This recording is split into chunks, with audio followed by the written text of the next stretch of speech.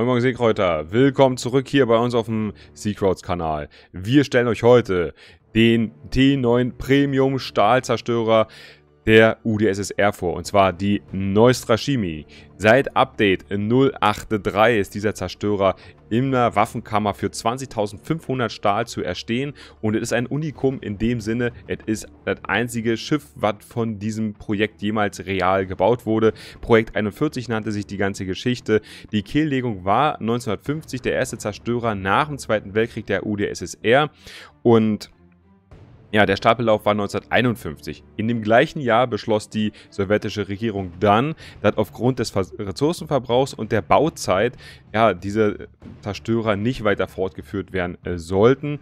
Und hm, man sagte, okay, Projekt 41 braucht ein Update, es wird dann umgewandelt in Projekt 56. Also fand dann eine Fortentwicklung statt. Das Besondere bei diesem Zerstörer war besonders die ähm, Hauptbatterielafetten, die sowohl gegen Luftziele sowie gegen Seeziele und Landziele genutzt werden konnten. Es ist eine Abart oder ein Bruder, eine Schwester der Grossevoy und deswegen wollen wir den Dampfer hier mit der Grossevoy vergleichen. Kommen wir direkt also zur Überlebensfähigkeit. Wir haben 20.500 äh, Trefferpunkte hier äh, als Guthaben. Die große Voy ist da 400 Punkte besser. Bei der Panzerungsanordnung, die wir euch kurz zeigen wollen, gibt es nichts Besonderes zu erzählen. Wir haben hier ringsrum überall 19 mm. Ringsrum, die Aufbauten sind bei 13 mm. Und das ist eigentlich schon alles, was man zu einem Zerstörer sagen kann. Also lange Rede, kurzer Sinn. Gehen wir direkt über und zwar ins Gameplay. Zur Artillerie. Das ist am Ende ein Grossewollgeschütz, was hier drauf sitzt. Nämlich vorne und hinten jeweils ein Turm. Bei der Grossevoy haben wir vorne zwei Türme, hinten ein Turm. Das Besondere bei der Neustrashime ist, diese Türme können sich um 360 Grad drehen. Sonst ist alles soweit identisch. Die Ladezeit, die Turmdrehzeit, alles was an Schaden da soweit ist. Äh, den Unterschied gibt es bei der Feuerreichweite. Da haben wir nämlich 12,8 Kilometer statt 12,3 bei der Grossevoy. Kommen wir gleich direkt äh, zu den äh, Torpedos. Wir haben zwei Werfer, A5 Rohre und die Torpedos, die schwimmen für 10 Kilometer mit 65 Knoten. Die Ladezeit ist hier bei der Neustrashimi 4 Sekunden äh, besser und der Höchstschaden eine ganze Ecke. Wir haben hier nämlich 17.933 Schaden und das ist ja gegenüber den 14.600 Trefferpunkten dann doch ein ganz ordentliches Ding. Muss man ganz ehrlich sagen. Die Torpedos gehen auch nicht so weit auf, die sind nur 1,3 Kilometer sichtbar. Bei der Flugabwehr geht es dann schon weiter. Die ist nämlich schwächer als bei der Grozovoi und auch gegenüber der Chabarovsk hat die äh, Neustrashimi hier einen Nachteil. Die Flugabwehr ist auf gar keinen Fall schlecht für einen DD, aber ja, sie ist nicht so gut wie auf den anderen vergleichbaren russischen Zerstörern. Das liegt vor allen Dingen daran, dass äh, es weniger Explosionen in der Luft gibt und dass auf der Mittel- und Langstreckenflak einfach weniger Schaden gemacht wird, kontinuierlich. Äh, das ist eigentlich so der, die Hauptsache. Aber wir haben hier trotz alledem eben schon dreimal Flugabwehr, was auf jeden Fall dafür sorgt, das ist, ihr kennt aus meinen letzten Schiffseinweisungen, umso mehr äh, Klamotten man sich im Winter anzieht, desto weniger friert man. Das ist so das Zwiebelprinzip. Ne? Und hier ist es eben so, umso mehr Zwiebelringe ein Flugzeug durchfliegen muss, umso anstrengender ist es für den Piloten. Und deswegen ist das hier schon, es ist keine schlechte Flak, aber es ist eben ähm, nicht die beste. Ihr habt ja hier auch ein defensives Flakfeuer drauf, was diesen Schaden nochmal um 200% erhöht. Und das ist dann schon richtig geil. Also das drei, insgesamt das Dreifache an Schaden, wenn man dazu möchte. Ne? Den Basisschaden und dann nochmal 200% obendrauf. Ja, die Sektorverstärkung und äh, ja, ist hier 50% und die Zeit der Verstärkung bzw. für den Wechsel jeweils 5 Sekunden. Und dann geht es weiter mit der Manövrierbarkeit. Wir sind hier bei dann 36 Knoten Höchstgeschwindigkeit. Das ist ein Rückstand im Gegensatz zur äh, Grossevoy. Da haben wir nämlich dreieinhalb Knoten mehr bei der Grossevoy auf der Uhr. Der Wendekreis mit 700 Meter ist echt heftig. Also wenn ihr das Ding jetzt äh, gerade fahren seht, dann äh, wundert euch nicht, wenn hier die Ruder... Anlage so ein bisschen größere Kreise dreht, denn das ist wirklich anstrengend. Ja, ihr habt eine relativ lange Ruderstellzeit, äh, die standardmäßig hier 4,6 Sekunden beträgt, das kann man runterskillen. Natürlich auf äh, ja, drei Sekunden, ein bisschen mehr als drei Sekunden wert. Äh, das ist aber trotz alledem, es ist, man fühlt sich eher wie so ein vielleicht ultraleichter Kreuzer. Fühlt sich vielleicht so ein bisschen an wie französische Schiffe, auch wenn das Ding hier nicht ganz so schnell ist. Und am Ende kommen wir hier auch mit Motorboost nur auf ein bisschen mehr als 40 Knoten, während die Große Voy eben hier über 44 Knoten schnell unterwegs ist.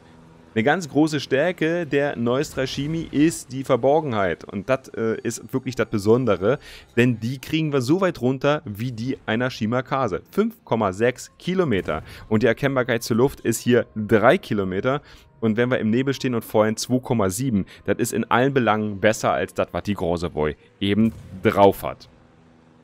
Gucken wir uns äh, gleich äh, ganz direkt hier die Verbrauchsmaterialien an das ist eine wahre Pracht und das ist ganz genauso wie bei der Grossevoy, außer dass wir hier eine verbesserte Reparaturmannschaft haben. Und zwar kann die Reparaturmannschaft 1,5% der Gesamttrefferpunkte des Schiffes pro Sekunde wiederherstellen. In Summe 307 Punkte. Ja, das ist also wirklich ultra, weil die Grossevoy kann nur 0,5% Punkte wiederherstellen und hat damit nicht so eine so gute Überlebensfähigkeit wie euer Schiff.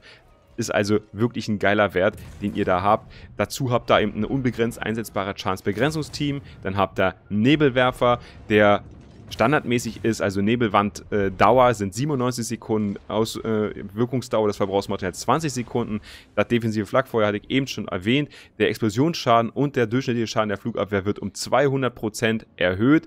Und dann haben wir hier eben einen Motorboost drin, der die Geschwindigkeit um 8% steigert und 120 Sekunden aktiv ist. Davon habt ihr dann zwei Aufladungen. Ihr wisst, äh, Premium-Schiff, ich würde euch auf jeden Fall mal die Premium-Verbrauchsmaterialien empfehlen. Ja, also Motorboost hat zwei Aufladungen, äh, Reparaturmannschaft 2, defensive Flakfeuer 4, Nebelwerfer 2. Und das sind jeweils die Premium-Varianten. Heißt am Ende, wenn ihr Inspekteur drin habt, dann kriegt ihr überall nochmal eine Ladung dazu. Was kann man jetzt an Verbesserungen in diesem Schiff hier denn ja, empfehlen? Ganz vorne ist ganz klar die Hauptbewaffnungsmodifikation 1. Ihr habt die Hauptbatterie und ihr habt Torpedowerfer, die werden in den beiden Dingen quasi verbessert. Sie fallen weniger häufig aus und wenn sie ausfallen, werden sie schneller wieder repariert. Und dann kommen wir schon in Slot 2, denn Slot 2 hat eine Motorboost-Modifikation oder eben eine Antriebsmodifikation. Ich würde euch auf jeden Fall, wenn ihr die Motorboost-Modifikation habt, die Motorboost-Modifikation empfehlen, da die dafür sorgt, dass ihr dann drei Minuten lang ja, mit so einer hohen Geschwindigkeit, also unterwegs sein könnt. Das ist einfach geil. Deswegen bauen wir das hier ein. Alternativ, wenn ihr die Motorboost-Modifikation eben nicht habt, würde ich euch empfehlen, hier die Antriebsmodifikation einzubauen, weil selbst wenn ihr ja euer Ruder, wenn euer Antrieb ausfällt, kann es, bringt es nichts, dass euer Ruder äh, noch funktioniert. Ja? Darum immer die Antriebsmodifikation nehmen. Das ist äh, immer sinnvoller, weil ohne Vortrieb bringt das Ruder eben gar nichts. So, dann in Slot 3 gibt es dann zwei Möglichkeiten. Entweder baut ihr die Flakbewaffnungsmodifikation ein, um mehr Explosionen in, euren, in eurer Flakverteidigung zu haben, jeweils zwei auf der Lang- oder Mittelstrecke, oder ihr baut eben die Zielsystemmodifikation ein, die den Torpedowerfern und den Hauptbatterien hilft. Meiner Meinung nach die bessere Wahl, da ihr die Torpedowerfer einfach schneller drehen könnt und die Streuung der Hauptbatteriegranaten einfach abnimmt. Das ist bei zwei Geschütztürmen, ja, sowieso recht armselig die Geschütztürme in dem Sinne von der Feuerkraft her, weil es eben nur zwei sind, ähm, die bessere Wahl. Ja, ihr habt ja immer noch einen Nebel und wenn ihr euch nicht allzu weit von der eigenen Gruppe entfernt, habt ihr eine vernünftige Flagge. Ihr habt sie ja so auch schon und ähm, fahrt dann eben, ja, in Flugzeugträgergefechten eher vor dem Team, sodass ihr euch auch wieder zurückfallen lassen könnt und nicht so ein, so ein so ein primäres Ziel seid, sodass ihr Flakverteidigung von euren Kollegen bekommt, wenn ihr einen Flugzeugträger loset Spiel habt, also wo keiner dabei ist, da könnt ihr euch dann schön Stealth, wie so eine Shimakase eventuell, durch die Gewässer bewegen und äh, da eure Torps unterbringen. Das macht nämlich wirklich Laune mit den Teilen. Also, dann kommen wir zu Slot 4. Hier für mich die ganz klare Wahl, Steuergetriebe-Modifikation. Wir gehen dann runter von 4,6 Sekunden nämlich auf 3,7 Sekunden. Das ist ein Wert, der ist immer noch nicht spitzenmäßig, aber ganz okay. das Teil an sich ist sowieso relativ breit und ist relativ behäbig. Also große, schnelle Wendungen könnt ihr mit dem Schiff auf jeden Fall nicht erwarten. In Slot 5 ganz klar das Tarnsystem äh, Modifikation 1 Modul einbauen, damit ihr von der Sichtbarkeit weiter runterkommt. Und in Slot 6 meiner Meinung nach die sinnvollste ist hier die Torpedowerfer-Modifikation, weil ihr einfach 15% an Nachladezeit spart. Ihr habt jetzt 125 Sekunden. Wenn ihr alles auf Torpedo Reload setzt, dann kommt ihr nachher bis auf 93 Sekunden runter. Und das ist schon eine ganze Ecke an Zeit, die ihr da sparen könnt. Und das ist nun mal die Stärke der Neustra Chemie. Dass ihr Torpedos einsetzen könnt, die relativ schnell sind. Die kommen zwar in Anführungsstrichen nur 10 Kilometer, aber das ist schon gar nicht mal so ein schlechter Wert. Radar ist auch nicht dauerhaft da. Das heißt, ihr könnt es gut nutzen, auch gegen Schiffe, die auf euch zufahren möglicherweise. Also, das ist schon eine ganz angenehme Entfernung. Es gibt da definitiv schlechtere Torpedowerfer. Darum würde ich hier die Torpedowerfer boosten und nicht die Hauptbatterie. Alternativ dazu gibt es auch hier natürlich die Flakbewaffnung, die ihr benutzen könnt, um euren Schaden weiter zu erhöhen. Oder eben dann die Hauptbatterie, die dann die Nachladezeit äh, zwar ver äh, verringert, aber die Drehgeschwindigkeit der Türme ähm, auch verringert. Das heißt, die drehen nicht mehr ganz so schnell um 360 Grad macht sich bis jetzt für mich in Gefechten nicht so bemerkbar. Also man kann das durchaus skillen, ohne dass ihr deswegen ähm, ja, Probleme habt, die Türme im Ziel zu halten. Das ist definitiv mal nicht so. Ähm, deswegen, ähm, das ist so ein bisschen eine Philosophiefrage. Wollt ihr gegen Flugzeuge verteidigen können? Wollt ihr eher eure Hauptbatterie benutzen? Oder wollt ihr eben die Torpedowerfer benutzen? Ich würde euch von Hause aus empfehlen, die Torpedowerfer-Modifikation einzubauen. Dann geht es weiter mit dem Äußeren. Und zwar bekommt ihr zu diesem Zerstörer natürlich eine Tarnung dazu. Die typische Typ 10 Tarnung, Typ 19, Entschuldigung. Äh, Erkennbarkeit zu Wasser minus 3%, Streuung der Granaten plus 4%. Schiffswartungskosten werden um 20% re reduziert. Und die EP je Gefecht, die ihr bekommt, ist um 100% erhöht. Das ist natürlich ein ganz wichtiger Bestandteil unseres Tarnsystems. Und deswegen kommt die Tarnung hier natürlich rauf. Und das nächste ist, welche Signale sind denn sinnvoll? Ist ganz klar, ich würde hier nicht IFAE skillen, auch wenn es hier sinnvoll sein kann. Aber mit, ähm, ihr seid nun mal hauptsächlich ein Torpedozerstörer aus meiner Sicht. Ja, ihr könnt viele Varianten abdecken, aber aus meiner Sicht ist die Nostrashimi eher ein Torpedozerstörer. Äh, und deswegen kommt India X-Ray rauf. Äh, Victor Lima, um die Brandwahrscheinlichkeit für die paar Geschosse, die ihr habt, zu erhöhen. Und ganz vorne natürlich Juliet Whisky Unavon, um die Wassereinbruchswahrscheinlichkeit noch weiter zu pushen. Dann könnt ihr November Echo Set 7 draufsetzen, um eure Flak zu verstärken, ein paar Prozentpunkte. Und dann geht es unten weiter in der zweiten Reihe. Da haben wir dann die November Foxtrot, um die Verbrauchsmaterialien für euer Schiff schneller wieder vorbereitet zu haben um 5%. Dann gibt es natürlich Sierra Mike, um die Höchstgeschwindigkeit des Schiffes zu pushen. Auf 37,8 Knoten sind wir dann nämlich schon. Und dann gibt es natürlich India Delta. Ihr habt die super geile Reparaturmannschaft. Ihr kriegt jetzt 20% mehr und habt dann ähm, ja nochmal eine ganze Ecke an Trefferpunkten, die ihr wieder herstellen könnt, mehr zur Verfügung. Ich gucke gerade kurz nach.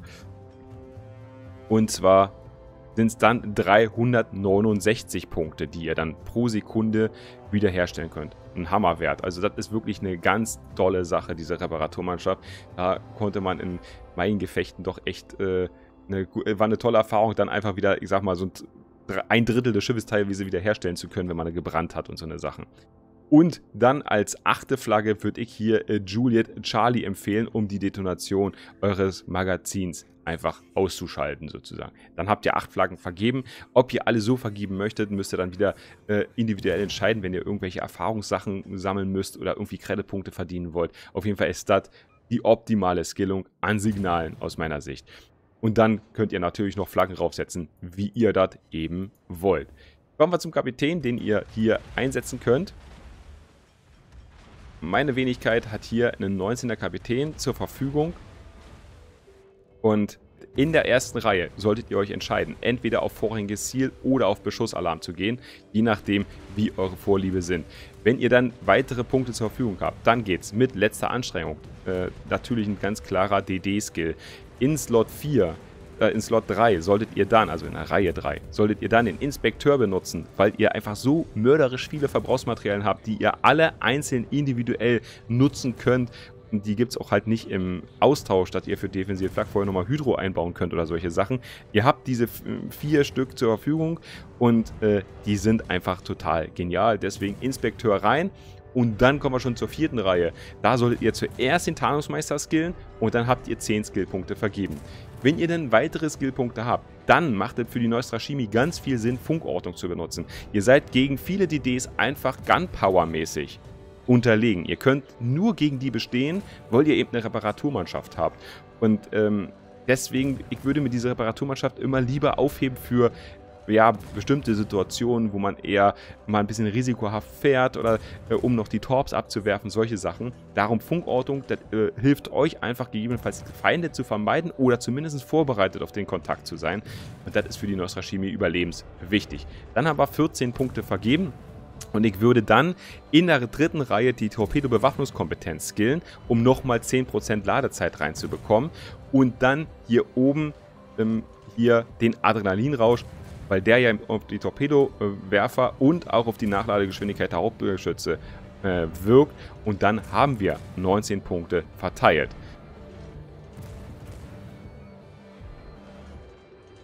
Gut, und dann kommen wir schon zum Pro und Contra bei diesem Dampfer. Meiner Meinung nach äh, hat das Teil eine sehr, sehr gute Verborgenheit. Das ist, eine, ähm, ist ein riesen, riesen Vorteil bei diesem Schiff. Ähm, dann gibt es den Torpedoschaden, der sich sehen lassen kann. Der ist jetzt zwar nicht auf Shima-Niveau, aber er ist für russische DDs ziemlich geil äh, und auch im, äh, auf jeden Fall mal im vorderen Mittelfeld, wenn nicht sogar im vorderen Drittel. Der Trefferpunktevorrat des äh, DDs hier hat es auch in sich. Der ist besser als viele T9-Zerstörer. Ihr habt da fast immer irgendwie einen Vorteil und teilweise sogar besser als viele T10-Zerstörer. Also in der Beziehung, wow. Und was ich hier noch als äh, Vorteil erachte, ist einfach die Anzahl der Verbrauchsmaterialien. Ist zwar genauso wie bei der Grossevoy, aber ähm, es ist einfach gegenüber anderen DDs nochmal was Besonderes. Als Kontra ganz klar die Hauptbewaffnung, die hier äh, Probleme macht, natürlich ist, sind die Geschütztürme. Ne? Ihr habt nur einen vorne, einen hinten. Ihr habt zwar jeweils zwei Rohre drin, aber es ist natürlich eine, ein weiter Winkel, den diese ähm, Türme haben. Einfach, ja, weil es einfach nur vorne und hinten einer halt ist. Ne? Ähm, dann ist das Schiff natürlich nicht besonders wendig. Also es fühlt sich eher an wie ein, wie ein Kreuzer, was ihr hier fahrt. Wie, wie ein ultra leichter Kreuzer vielleicht. Aber ist, der Wendekreis ist schon ja, ekelhaft, kann man schon sagen. Das fühlt sich wirklich nicht besonders doll an. Dann die Torpedoreichweite, die teilweise auch äh, herausfordernd machen kann, gerade wenn viele Radarschiffe dabei sind.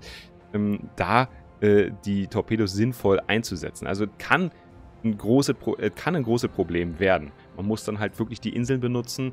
Und dann, eins nicht vergessen, ihr habt auch immer noch eine Hauptgeschütz, ja, was ihr benutzen könnt. Ihr kommt damit 12,8 Kilometer und damit seid ihr auch außerhalb der Radarreichweite von, äh, von, der, von den russischen Kreuzern. Also, das ist noch da, aber beschneidet eben die Neustrashimi in manchen Gefechten. Deswegen, die Tor Torpedoreichweite könnte meiner Meinung nach um 1-2 Kilometer noch geiler sein, aber okay, damit müssen wir jetzt leben. Und im Vergleich zu anderen russischen DDs hier die schlechtere Flak-Bewaffnung. Die habe ich ebenfalls noch als Kontrapunkt festgestellt. Wer jetzt diese Neustrashimi sich holt, muss sich bewusst sein, dass das ein DD ist, der ist irgendwie, das fühlt sich erstmal alles ein bisschen merkwürdig an. Das ist halt ein träges Schiff, in Gun-Duellen äh, eher unterlegen und ja, man muss damit fahren lernen. Das ist wirklich, das ist wirklich speziell, auch wenn das jetzt vielleicht im ersten Moment gar nicht so äh, auf den einen oder anderen wirkt. Das muss man einfach sagen. Ich persönlich habe das Schiff jetzt hier zwar äh, lieben gelernt, weil es mir zur Verfügung gestellt wurde in, in diesem Account hier. Ähm, oder lieben gelernt, ja, ich habe mich damit angefreundet, sagen wir eher so. Ich würde aber dafür wahrscheinlich nicht 20.500 Stahl, zumindest zum jetzigen Zeitpunkt, investieren, um diesen DD unbedingt zu bekommen. So, und damit sind wir schon am Ende unserer Schiffs Einweisung hier zur Neustrashimi. Ich hoffe, das neue, kompaktere Format hat euch Freude bereitet, nebenbei auch mit dem Gameplay und den äh, technischen Daten noch eine Einblendung. Äh, wenn dem so ist, lasst mir gerne einen Kommentar da, einen Daumen nach oben. Solltet ihr uns noch nicht abonniert haben, würde ich mich sehr freuen, wenn ihr das jetzt tun würdet. Auch die Glocke drücken, damit ihr mitbekommt, wenn neue Videos online gehen. Prinzipiell freut mich auch immer über konstruktive Kritik. Also wenn ihr etwas habt, was jetzt nicht gut dargestellt war, eurer Meinung nach, was ich vielleicht auch vergessen habe oder wie, ja, dann einfach unten in die Kommentare rein. Vielleicht fandet ihr die alten Modelle, äh, die alten Formate einfach ein bisschen cooler, weil sie noch ausführlicher waren. Da waren die ähm, ja, Vorstellungen ja 40 Minuten lang. Wir sind jetzt gerade mal bei 20 Minuten. Und ja, ich würde gerne mal wissen, wie euer Feedback dazu ist. In dem Sinne, ich wünsche euch eine schöne Zeit und bis zum nächsten Video hier bei uns auf dem Siegrauts-Kanal. Tschüss, bis zum nächsten Mal.